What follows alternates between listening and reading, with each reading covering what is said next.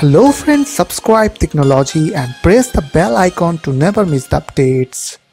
Hey what's up guys welcome back to our channel Tricknology. So today in this video I'm going to show you guys how to connect your home PC or laptop remotely using IP address. So you just need to follow me and don't forget to subscribe our channel Tricknology. So at first you need to enable remote desktop on your computer. So for that you have to go to your my computer first and after that you have to right click over there and go to the properties.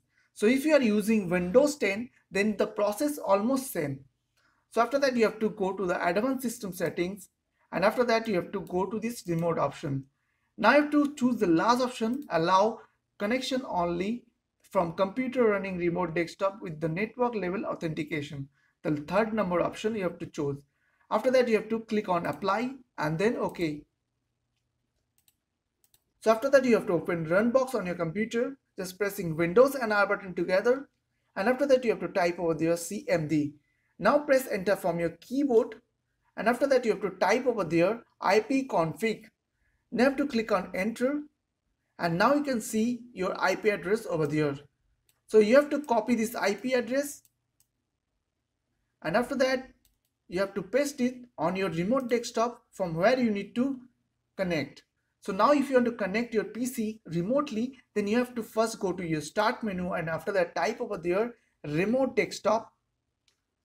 Okay, after that click on enter or you can go to the run box just pressing Windows and R button together and after that type over there MSTSC.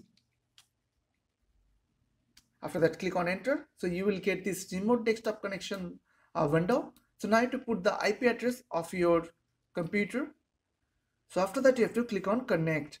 So if this process is not working for you, then you have to disable the firewall on your computer. So for that you need to go to your run box, just pressing Windows and button together. And after that you have to type over there firewall.cpl. Okay. After that press enter from your keyboard. And now you have to click on turn Windows firewall on or off. After that you have to turn off the firewall from here. So I hope this small video will really help for you and please don't forget to click on the subscribe button, like button and share button and if you have any queries or questions in the comments down below, I will see you guys in the next one next video. Take care.